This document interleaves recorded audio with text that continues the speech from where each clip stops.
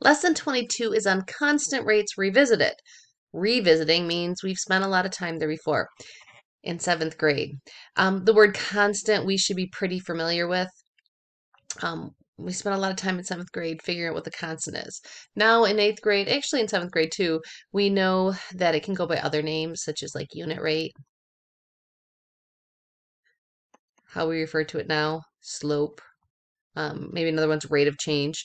Um, but we're going to come back to this idea of being a constant. Um, when we graph straight lines, they're constant because they're increasing by the same or decreasing by the same amount every time.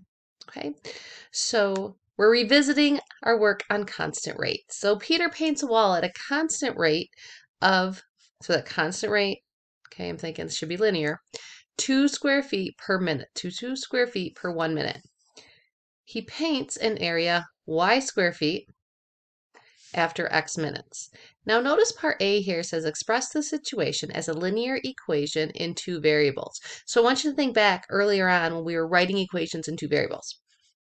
Take your rate, 2 square feet per one minute, and then match that up with y over x, y square feet in x minutes.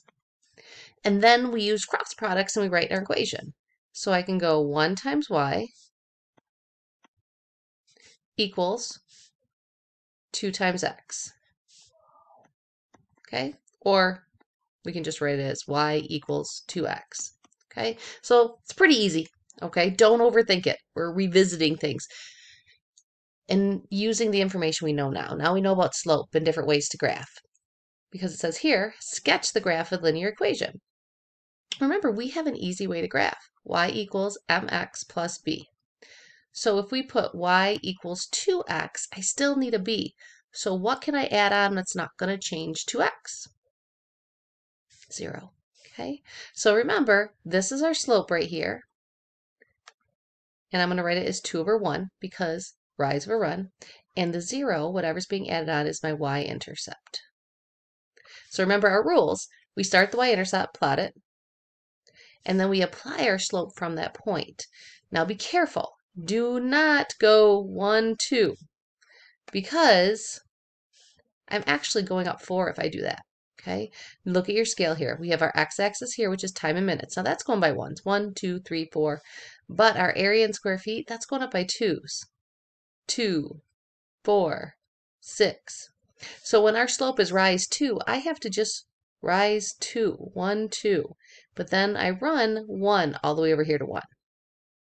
Rise 2, which is one block, run 1. Rise 2, run 1. We can keep doing it over and over and over, but instead of doing that, we can draw a line through it.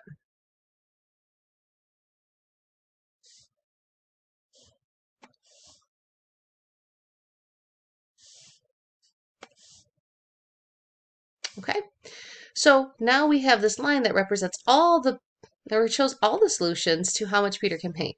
You know, at four minutes, he's painting eight square feet. At five minutes, he's painting 10 square feet. So our equation here represents that, and so does our graph. Now it says we can use either to determine the total area paints after eight minutes, one and a half hours, two hours, and it says note that the units are in minutes and hours. So I am going to write my equation y equals 2 times x, because I don't think our graph's going to be big enough to get all of them off there.